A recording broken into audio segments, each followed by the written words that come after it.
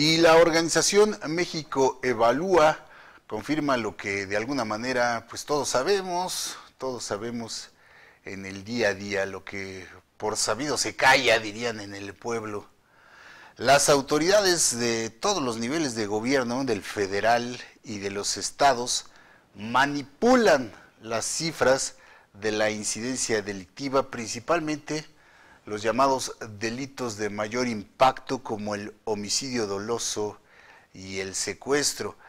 Además de esa llamada cifra negra de los delitos que no se denuncian, también las autoridades le echan una manita ahí a las estadísticas para que el panorama pues no se vea tan feo. Ah, actualmente pues las cifras son tan, tan eh, desorbitadas que es imposible prácticamente ocultar esta situación, ni siquiera en esas cifras eh, gubernamentales. Este organismo civil, esta ONG, presentó, los, los resultados de un estudio precisamente sobre estas cifras delictivas de los últimos 20 años, del 97 para acá, eh, las cifras oficiales, las que maneja el Secretariado Ejecutivo del Sistema Nacional de Seguridad Pública. James Patrick, quien es un investigador retirado de Scotland Yard,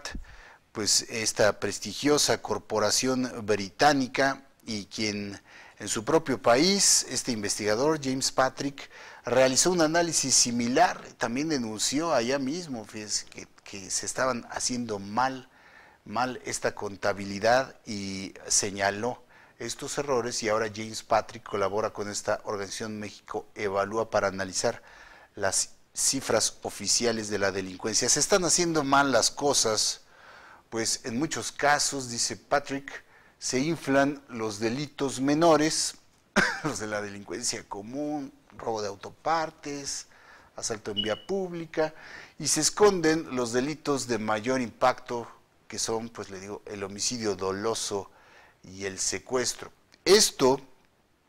dice Patrick, impide tener un panorama real y aplicar las políticas públicas necesarias para mitigar este problema. Aquí le hemos dicho, la importancia de la denuncia, eh, pues es más allá de que eh, las autoridades actúan o no, que es su primera obligación, claro, eh, y una exigencia de la sociedad, es también para configurar en dónde eh, los mapas delictivos, en dónde están ocurriendo precisamente esos asaltos, esos homicidios, pandillerismo, narcomenudeo. Por eso la importancia también de la denuncia para aplicar precisamente los operativos y actuar en consecuencia, aunque vaya, muchas veces si hay complicidad de la autoridad, pues no se va a hacer nada, ¿verdad? Incluso hasta se protege, se alienta, hay contubernio desafortunadamente en algunos puntos, eh, lo que impide y por eso la gente pues cada vez denuncia menos. No es que haya cada vez menos delitos, sino que la gente pues ya no cree en sus autoridades, que es una pérdida de tiempo y además muchas veces están coludidos con estos mismos delincuentes, trabajan de la mano. Es esa cifra negra de delitos, dice este especialista de Scotland Yard, los delitos no denunciados, lo que indica realmente el nivel de actividad delictiva. Claro, nosotros lo sabemos por el día a día, lo sabemos por los conocidos, por los amigos, ahora por las redes sociales principalmente.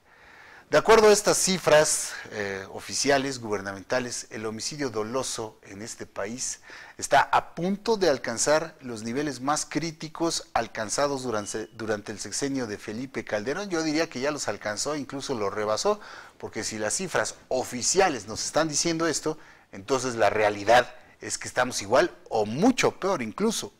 Eh, la percepción, diría Peña Nieto, es esa de la gente realmente que estamos igual o peor, eh, eh, en el menor de los casos igual que como se estaba cuando Calderón declaró la guerra abierta contra el crimen organizado. En los últimos dos años, dice México, evalúa el crecimiento,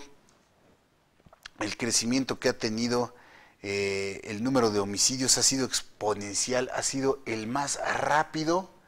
que se ha registrado en los últimos años, incluso si me apura, en las últimas décadas, denuncia esta ONG que eh, propone, que demanda que sea un organismo autónomo, conocido, académico, con expertos, el que realice estas eh, contabilidad de cifras y que además esto aliente a la misma ciudadanía a presentar denuncias y reducir esa cifra negra que en realidad eh, pues es eh, la conocemos digo o nos damos una idea por las denuncias eh, por los casos que conocemos de asaltos de homicidios de robos a casa a habitación y ayer decía o insistía más bien el presidente Peña Nieto en que no hay que hablar mal de México por los prietitos en el, en el arroz, por no decir por frijol con gorgojo, ¿no? Le, faltó casi casi decir eh, que no hablemos mal de México por los prietitos en el arroz que ocurren en todas partes del mundo. Sí, ayer, ayer lo decíamos con Beto Merlo. Eh, no hay un paraíso real, al menos en esta tierra, ahora que estamos hablando del más allá y de los muertos. No existe un paraíso en la tierra, en todos lados hay delincuencia, en todos lados hay corrupción, pero eh, la idea es que, en primer lugar, pues no es mal de muchos, consuelo de tontos, y, y, a nosotros nos interesa pues lo que pasa también aquí en México, que es lo que nos afecta. Nos interesa, claro, lo que ocurre en todo el mundo, pero nos pega de primera mano lo que ocurre aquí. Y el presidente pide no hablar mal del país por los prietitos en el arroz, fíjese, o sea, prietitos en el arroz, el tener la situación que tenemos en este país, bueno, sigue acumulando este señor declaraciones lamentables. Vamos a hacer un corte y continuamos con más aquí en Disyuntiva TV.